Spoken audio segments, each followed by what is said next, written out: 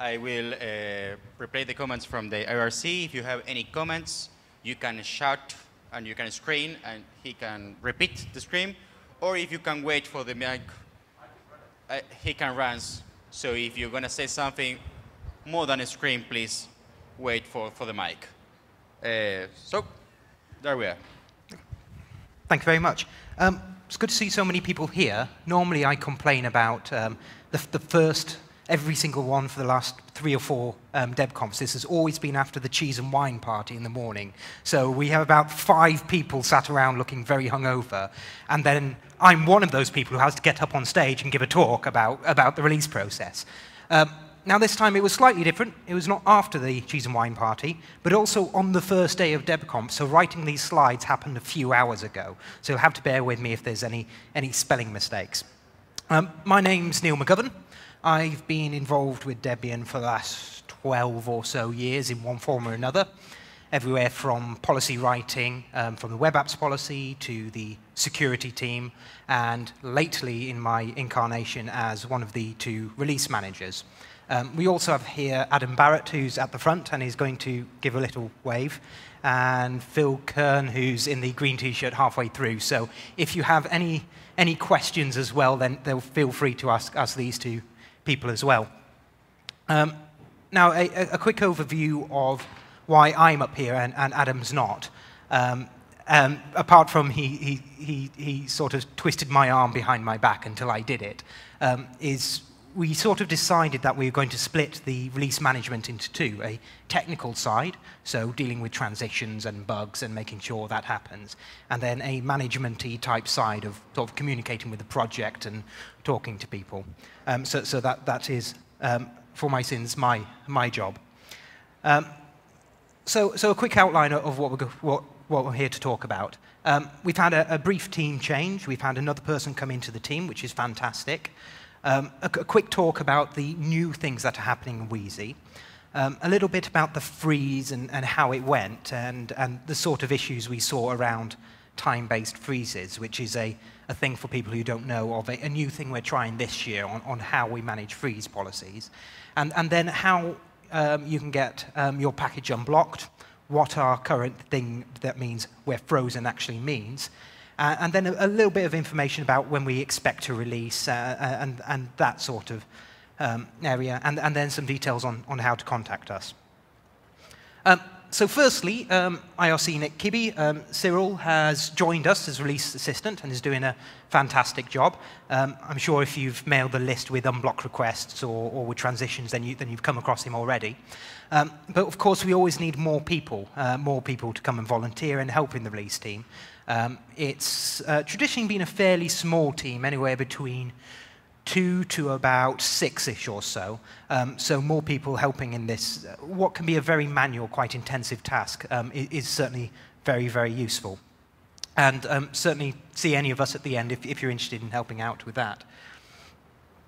So Wheezy, we have now frozen, which means we're not having automatic uh, migration of packages going into testing, which is starting to give us an idea of the sort of new things we're going to see in Wheezy. Um, so we've got KDE 4.8, uh, GNOME 3.4, uh, new versions of Python, and a 3.2 Linux kernel. So this is quite up-to-date stuff um, that, that we're pushing out and hopefully will be in, in, in, the, um, in the next release, which I hope will be fairly soon. But one of the main points here is that we don't actually know what's going to be there because there's, I think at the last count, 39,000 binary packages or so in a Debian release. So we don't know what we can tell everyone and, and tell the world about what's in our latest release. As you know, I think today um, we're going to be having the new desktop base artwork go in, which will be quite nice, so we'll have a new look for that.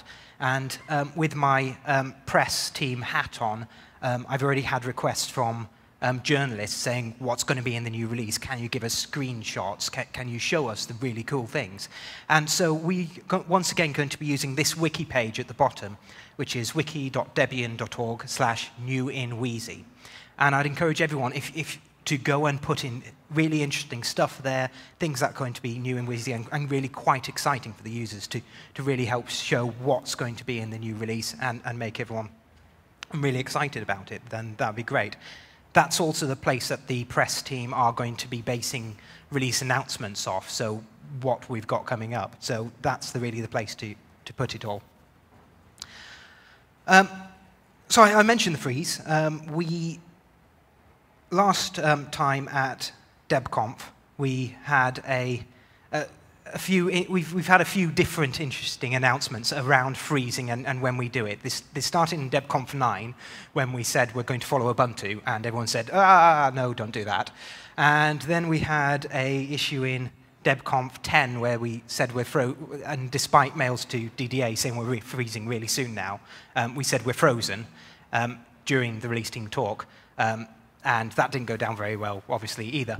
Um, so we, we decided to use a, a time-based freeze. So we say in advance when we're going to freeze. And, and there's a few advantages and disadvantages to that.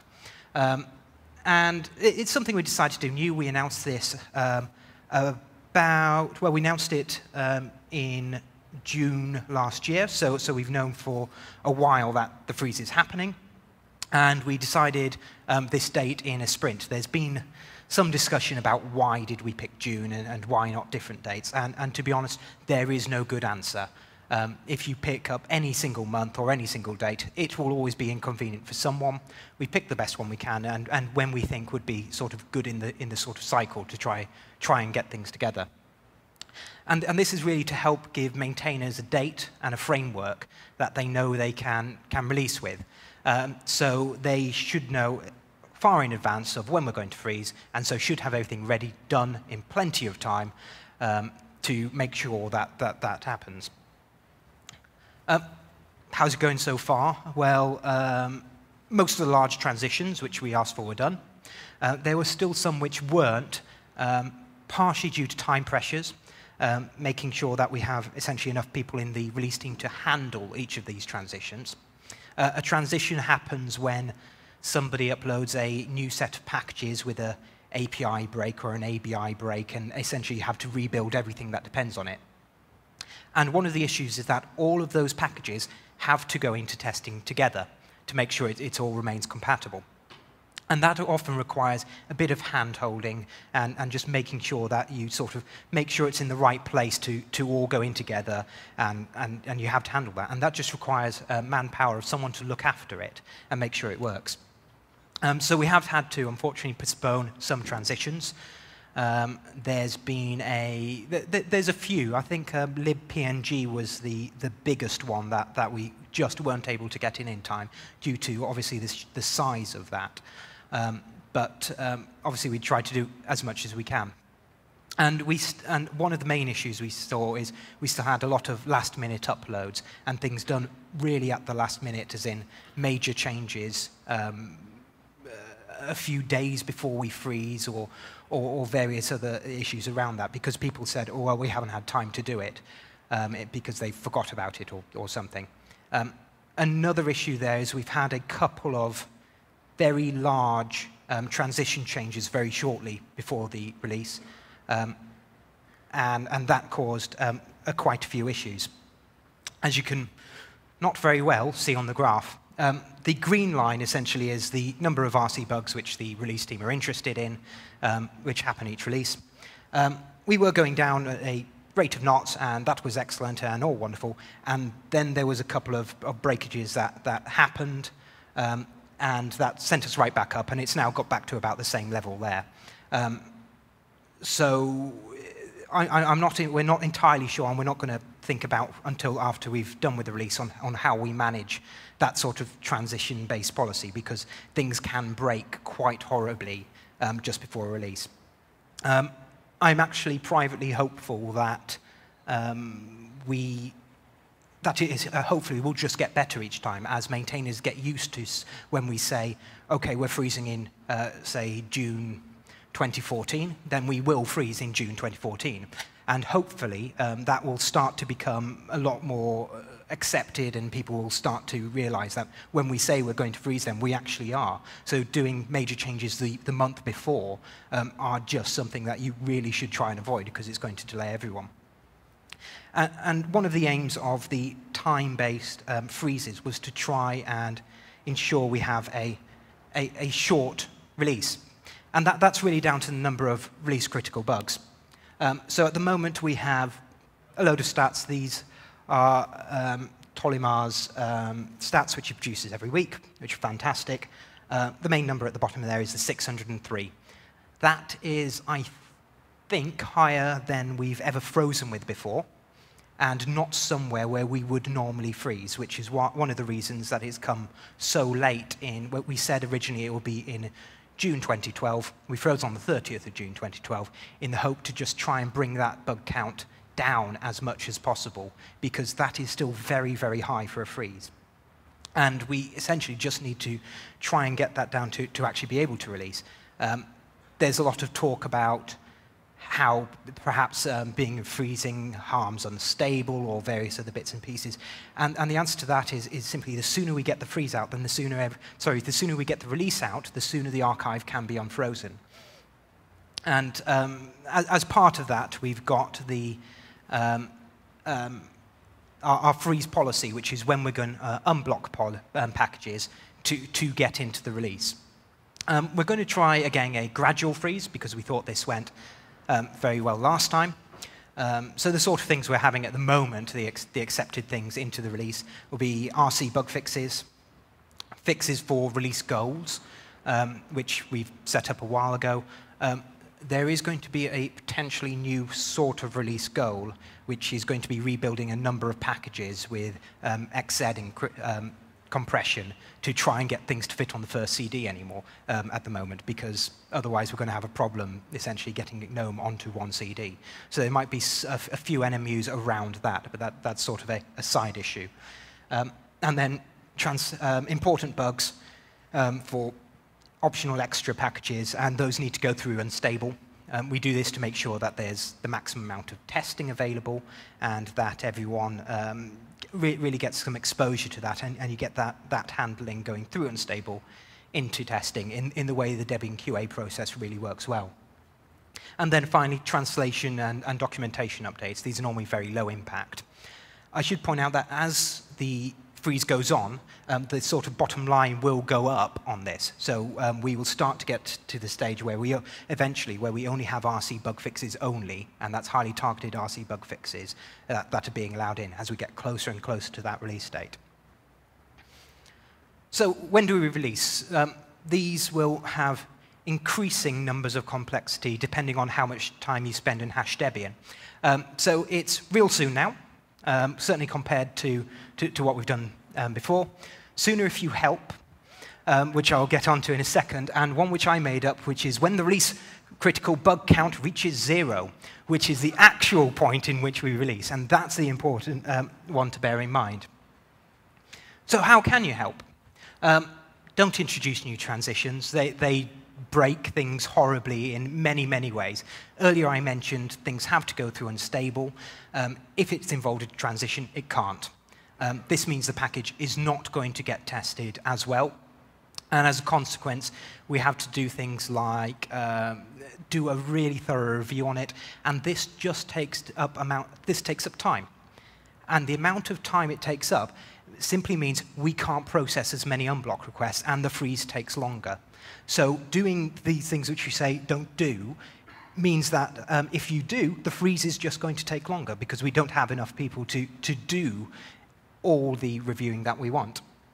Um, try not to upload things into unstable that you don't want released in Wheezy. Uh, because for a similar uh, reason, this is what we're, we're going to be basing um, the next release off and then trying to migrate things through into testing. Um, when fixing um, RC bugs, please everyone keep doing that. That's actually the key thing which everyone should do. Um, find an RC bug. There's, there's 603 at last count, um, certainly out there. There's plenty around to do. That, that's not a problem. I think if everyone at DebConf fix two RC bugs tomorrow, then, then we can release by the end of DebConf, which would be great. Um, but it's, it's trying to get these sort of things. We really need to get those down because that's the major issue. That is going to hold us back. Um, testing is also very important. We're starting to get to a stage where we need to test migration um, and upgrade and installabilities and, and, things like that to try and get make sure that the user experience is great from when they're trying to go from one release to the next. And, and tell us about any problems that, that you do have. Um, and finally, I'll mention this, this link at the bottom, which is currently a debbugs page with nothing tagged. But over the next few weeks or so, that will start to fill up um, with a number of user tags. These are um, Wheezy blocker tags, which are bugs that will need to be fixed um, before we can release.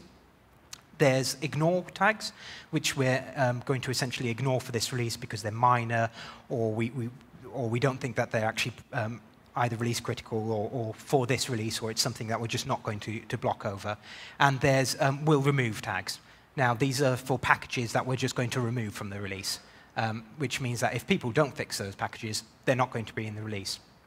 Um, similar to last year, we've, uh, and this year, we, we're trying to be fairly um, straightforward with our removals, So we're not going to delay um, removing packages for months and months, like has been happened a number of years in the past. Um, things will get removed uh, because uh, especially if they've had uh, release critical bugs that have just been ignored for, for, a long, for a long amount of time. They're leaf packages if they're not very popular. Even if they're important for one particular user developer, then those really need to get those RC bugs fixed. And hopefully we'll be, and we'll, we'll be using those tags to, to try and in increase the sort of visibility of what we're doing there.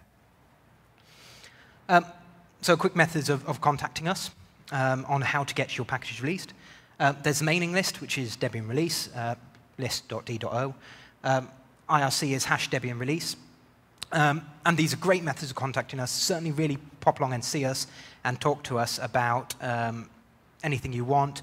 Um, but the key thing is they may not get your packages um, unblocked. If you write a mail to Debian release, certainly at the moment, it's as you can imagine, it's incredibly busy um, because we have lots of people asking for unblocks and things like that. And there is a fairly high chance, well, certainly if it's me, that I'll just miss your mail. And then you'll essentially be ignored for a while as, as no one will pick it up. So the best thing to do is um, use report bug against release.debian.org, and that can handle things like your binary NMUs, your transitions, your unblocks, your proposed updates, anything like that. And that's in a single place where we can track it and, and, and make sure things happen and, and, and they get, get through. Um, otherwise, they quite frankly won't. Um, just, and just finally, a, a, quick thanks to Collabora, who are my employers and paid me to come here. So that's, that, that's um, a big thank you for them. Um, and that is, as I explained, probably the, the, the, all the slides that, that I had for the release, because I normally like to leave a fair amount for questions for the release talk. This time I haven't actually um, announced that we're freezing now or that we've released or anything, so there might be a few fewer questions than I normally get and, and a little bit less heckling. Um, but I thought, I thought I'd uh, leave it there and, and, see if anyone has any particular questions, either on the release or stuff we're looking to do in the future or, or anything at all, really. So I'll, I'll, certainly open up the floor to, to any questions that people have.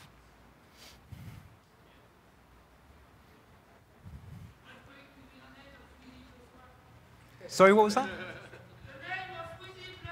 The name of Wheezy Plus One. Ah, well, so, uh, so we, we, are trying to, me and Adam, we're, we're having this debate about when we, when we should do this and, and, and have a talk. We, we haven't decided yet, um, is the basic answer. Um, we're, think, we're thinking of um, announcing it maybe in about a month's time or so. We, we normally do it, last time we did it about a month after the freeze. Um, but th there's been some ideas um, kicking around. There's been heavy lobbying from the Zerg and the Shark lobbies have been coming to see us and saying, please, call the next release Zerg, who was the, some alien or something, the, is the big alien guy. And, and Shark is just um, the keyring maintainer's uh, preferential choice. Um, I have been threatened with having my key removed from the archive if we don't pick Shark, but he did that last year, last time as well, so uh, it's probably not going to happen. Or maybe he has, and I haven't noticed. Hey, you, you don't know. Um, yeah, apparently that's, that's what I get for being management, was, was the comment there. Um, anyone else? Yes. What about the claw? The claw, that was also another suggestion from Joe somewhere. Um, although that might make some quite good artwork for t-shirts, um, I, am not sure about that one either. I, I've, I've, what, what, normally happens when we, we, pick a release name is we try and think up something that hasn't been used, something that's quite iconic, uh, would essentially look good on a t-shirt. And then we come up with this great name and we mention it to the rest of the release team and FTP masters, and they say, that's horrible, you're not using that. And then we go, ah, right, okay, fine, so we need to come up with something else. And, and so then eventually we find something that people seem to like and, and works quite well. Um, any more? So, so, I have a question not actually related to the name of the next release. Um, we, we, have a history of burning out release team. Yes. Um, given that Zack talked yesterday about institutional memory and learning to do things, and, and given that we're trying time-based releases for the first time, do you think that a substantial portion of the current release team will still be present in two years' time for the next time-based freeze? Do I, do I think there'll still be a substantial portion present in... Do you think we'll have enough of the current team present in two years' time that the, the lessons we have learned from our first time-based freeze will still be held within the release team. People will still know what went wrong this time, what worked well, and what we need to do better for next time. I'm not asking any of you to commit to being here, but do you have a feel for how burnt out the team feels compared to previous years or previous release team, uh, um, and, and how that's likely to work in the future? I think it's been helpful to have a time-based freeze so that when these things do go wrong, and when people um, when there is things that big changes uploaded at the last minute, um, we can point at people and say, look, we've told you for many a year um, that this is happening. Now, it does raise a level of frustration that this is still happening. Um, in terms of ensuring that the, the memory continues to the next time, um, one of the things we did after the last release is we had a sprint with a retrospective and documented it all and put it all online to make sure that there's something that even new people can come and look at. And um, there's a lot of documentation going on um, from Niels to make sure that, that this sort of stuff is documented. Um, so I'm hopeful that even if that does happen, I don't have any particular reason, uh, reason why it should at the moment, um, especially if we try and get more people involved, um, because part of the reason that people have been burnt out in the release team is that there has just not been enough people involved. So it's, it's fallen, all the work has fallen on the weight of a very few number of people, and, and, and that's been the main issue there. Um, so I think if it does, then um, hopefully we've got something in place to try and make sure that the ideas and what's gone right and what's gone wrong will carry on. From IRC, oh, Chris uh, asks, how does one see the tags on the packages being discussed? Sorry? I, ah, you can read it by yeah. yourself. Where? How does one see the tags on the packages um, being discussed? Yes, so this is only for release critical um, bugs. If you go to the um, deb.li slash wheezybugs, um, then the, the, whole list of bugs will eventually be on there, and, and we'll go through and, and tag them all, and, and they'll be um, they'll, they'll be documented in, in there on, on to what's happening. Um, there's also a, a, few other tools you can run on your personal desktop. Um, RC Alert is one of them, which will tell you about release critical bugs and packages installed on your machine. So hopefully if it's installed on your machine, you might care about that package. So you should probably have a look at those RC bugs and hopefully go and fix them.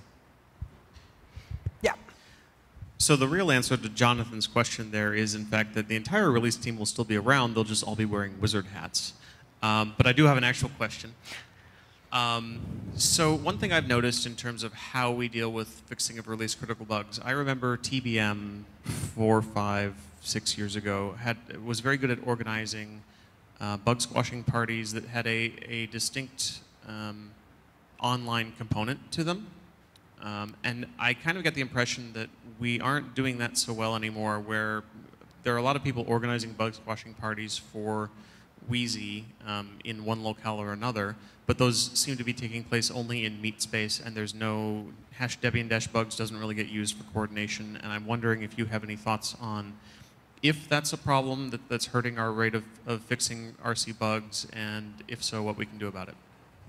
Well, one of the main list um, suggestions that I'm sure you know is, is, that we all just go and create a Google Hangout or something like that and, and go sit on there and fix RC bugs, which I'm not sure is the, the right solution. But I do think it is quite important to try and get more people involved in RC bugs um, squashing. And if we can try and get more people to come along to the um, even virtually to a real life um, bug squashing party, then this would be a really, really good thing. Um, probably one of the reasons that this hasn't happened again is um, the amount of effort it takes to organize an RC, um, um, a, a, RC bug squishing party. Um, certainly, when you're actually thinking about, oh, I need to make sure there's venue, place of somewhere for people to stay and the rest of it, then you don't necessarily think of, oh, and now I need to sort out making sure that there's like an online presence for people to come as well. Um, it'd be really good to happen. As to the answer on how we make that happen without using um, proprietary or closed um, solutions or things that people aren't comfortable with, I'm not sure at the moment. Hi. Uh, for translation work, what, what's the policy during the freeze? How, how much time uh, we have than the release team accept uh, new translations? Um, about that long. it may not be to scale, but about that long. Um, so, so, so the, the, there's a few there's a few timescales in here. Um, one is um, how quickly is it um, going to take us to respond to these bugs and things like that, um, which is as soon as we can. Faster if more people come along and, and, and, try and help out things. Certainly doing some basic triage, from, which anyone can do, um, to try and get an idea of, of, what's going to be in these particular bugs is very helpful for bringing down the, the, amount of time. And again, these are all helpful for actually getting the release out quicker as well. Um, so I suppose the sort of answer is, which is a bit of a get out uh, answer, is, is as quick as we can. So I've got this brand new uh, package that's just about to go into new. Can I have a freeze exception, please? Well, it depends which. Um, it, it, depends which package it is. If, if, it's if it's your special Debian CD package, then, then possibly, or the new Keyring archive. But generally, um, no. um, we, we've. Uh, we've had a few people who, who said, uh, we've got a new package, can it just go in? I've just missed the freeze. And to be honest, we, we, we announced the freeze over a year ago, um, we've been quite clear that this is when we're freezing and people need to make sure stuff is ready in time. Um, and if it's not, then I'm sorry, that then there's next time. And hopefully part of this will be able to uh, make things more predictable, more reliable, so people won't be worried about when the next release is going to be. Um, and again, it's, it's our job um, as a release team to try and help the project um, release efficiently as a whole release, not just particular packages. Hey, Neil. Hi. I've been sitting here trying to process your allusion to Google plus Hangouts and so forth, and I, I, realize this is a completely radical idea and it's liable to upset all sorts of people in Debian, but why don't we use hash debian-devel on IRC for something that's actually useful and have that be the place we all hang out when we're doing bug squashing parties? Yeah, um, I have no particular problems with, with using any channels and trying to get more people involved in squishing bugs. Um, releasing is a thing that the project needs to do as a whole. Um, we're in the release team are here to help it and to try and massage it along and, and, try and happen. But if, if developers as a whole don't want to release Debian or aren't interested, then it's just not going to happen.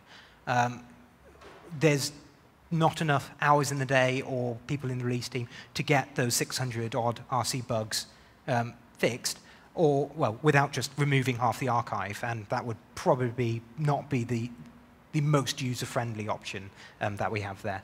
Um, getting more people squishing these, is, it means we release faster, the freeze is shorter, and then we can move on to doing really exciting things again. It's essentially in, everyone, in everyone's hand to try and help this along.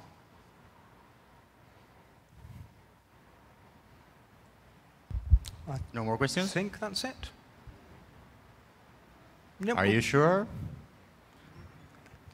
I, I, always get a little worried when we got a release assistant sort of putting their, their hands up saying, yes, I'll ask something.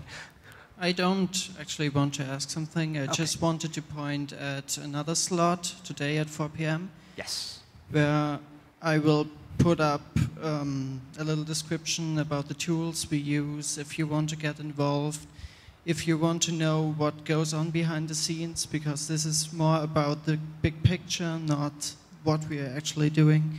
So if you're interested, it should be rather BOF-like. So if you want to ask questions there, feel free. If you just that you know that it's happening today at 4 p.m. Yep. So yeah, that's today at 4. Um, a BOF on how we release things um, and the tools involved and how to get involved and do things. Um, it'd be great to see certainly this many people here and everyone here volunteering again to, to come and help and, and be on the release team and to, to squish all the RC bugs, because that would be brilliant. I think that's hopefully it then. Okay, so that have you on. Thank you. Okay. Let's. Um, thank you. Nice clap.